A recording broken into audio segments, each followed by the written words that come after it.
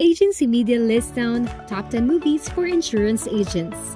Did you know that as early as 1940s, the insurance industry has made entries as starring roles in films? In year 1944, the film Double Indemnity was released. It is a classic film which garnered seven Oscar nominations when it was released and appearing on numerous best lists over the years. We're also including in this list the movie Rainmaker, which is about a corrupt insurance company and an idealistic young lawyer. It's the David vs. Goliath theme tailor made for Hollywood. Other films in our list are Killer Joe, which follows Chris Smith, a 22 year old drug dealer who decided to murder his mother just to collect a $50,000 life insurance. You can also stream under this list Along Came Polly, Cedar Rapids, and alias Jesse James.